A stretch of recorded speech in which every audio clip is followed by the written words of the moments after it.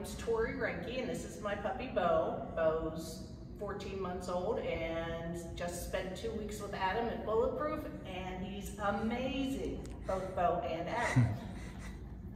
This is a return trip as we've had Irish Wolfhounds trained here as well, and I would come back with the next one, but I have no room in my house for another dog. So thank you.